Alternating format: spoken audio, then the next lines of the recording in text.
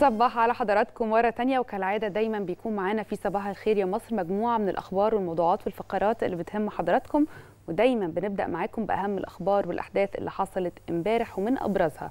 تلقي سيادة الرئيس عبد الفتاح السيسي اتصال هاتفي من محمد شياع السوداني رئيس الوزراء العراقي للتهنئة بمناسبة حلول عيد الفطر المبارك. وتمنيا لمصر كل الخير والازدهار.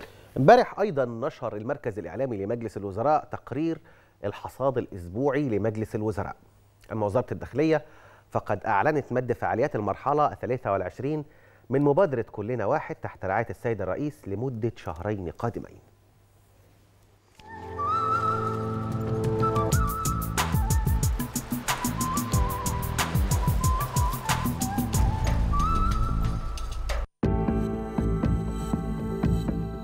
في مجموعة من الأخبار المهمة اللي حصلت امبارح. أبرزها تلقي الرئيس عبد الفتاح السيسي اتصال هاتفي من محمد شياع السوداني رئيس الوزراء العراقي اللي توجه بالتهنئة للرئيس بمناسبة حلول عيد الفطر المبارك متمنيا لمصر كل الخير والازدهار حكومة وشعبا.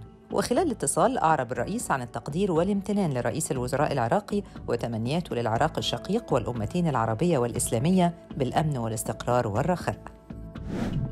امبارح نشر المركز الإعلامي لمجلس الوزراء تقرير بيتضمن إنفوجرافات للحصاد الأسبوعي للمجلس خلال الفترة من 15 لحد 21 إبريل وشامل الاجتماعات واللقاءات اللي عقدها الدكتور مصطفى مدبولي رئيس الوزراء بالإضافة للأنشطة اللي قام بيها امبارح وزارة الداخلية أعلنت مد فعاليات المرحلة 23 من مبادرة كلنا واحد تحت رعاية رئيس الجمهورية لمدة شهرين لتوفير كافة السلع الغذائية وغير الغذائية بأسعار مخفضة عن مسيلتها بالأسواق بنسبة تصل ل 60% بالمنافذ والسرادقات.